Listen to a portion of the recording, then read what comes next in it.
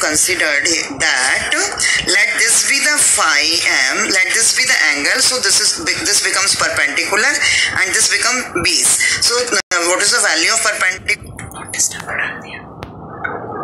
so now C ten five कितना होता है परपेंडिकुलर अपॉन बेस होता है तो मैंने ये फाइव एम कंसिडर किया है यहाँ पे। फाइव एम तो ये परपेंडिकुलर हो गया, ये नाइन्टी डिग्री बना रहा है so this is base and this is hypotenuse तो हम कैसे पाइथागोरस थ्योरम अप्लाई करेंगे तो कितना होगा? Hypotenuse square equal to perpendicular square plus base square तो मैं सब मैं यहाँ पे वैल्यूज़ पुट कर दूँगी। जब आप इसको सॉल्व करोगे परपेंडिकुलर की वैल्यू कितनी है? वन माइनस बीटा और बेस की वैल्यू कितनी है? Two under root of beta जब आप ये वैल्यूज़ यहाँ पुट कर दोगे पाइथागोरस थ्योरम में तो आपको हाइपोटेनस की वैल्यू कितनी मिलेगी? वन प्लस बीटा मिलेगी। कल ये कैलकुलेशन हम कर चुके हैं। So I can write the value of sine phi m, it is equal to 1 minus beta upon 1 plus beta. Sine के टर्म्स में भी हमारे पास आ जाएगा। Now C phi M is equal to how much sine inverse of one minus beta upon one plus beta So you can see here the phase lag of the circuit depends on the value of this beta. It means the location of the poles and the zeros.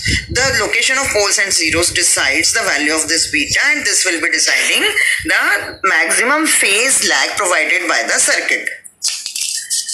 Now next I am calculating the magnitude अच्छा ये मैंने सारे calculation क्यों किए?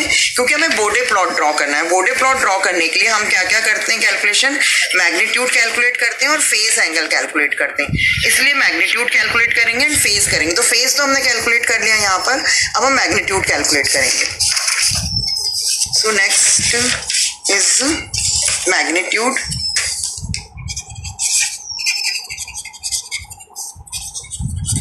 In this magnitude, we already know that GS is equal to SZ plus 1 upon SZ beta plus 1. ये तो हमें पता ही है Now तो put S equal to J omega. So G J omega is equal to J omega Z plus one upon J omega Z beta plus one ये सारे calculation कल भी किए थे now put omega equal to omega M it means I want to calculate this magnitude this value of G J omega at omega M so G J omega equal to J omega M this is omega M Z plus one J omega M Z beta plus one So uh, this is a transfer function at maximum frequency or you can say this frequency is providing the maximum phase lag.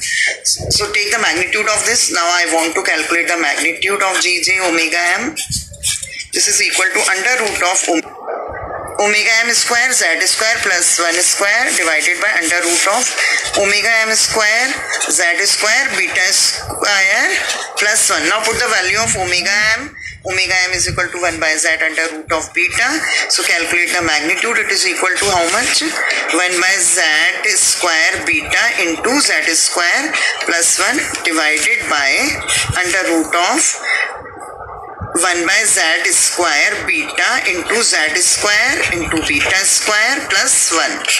So you can see Z square Z square cancel हो जाएगा। यहाँ ये beta denominator का cancel हो जाएगा। Here Z square will be cancel now the magnitude is equal to how much under root of one by beta plus one upon under root of beta plus one.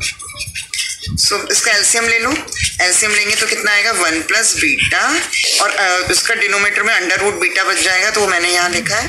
And this term under root of beta plus one तो ये और ये cancel हो जाएँगे। So the magnitude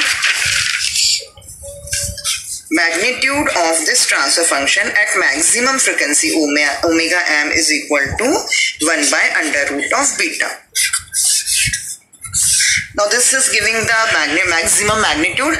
If we know the value of this beta, we can calculate the maximum magnitude also at maximum phase lag.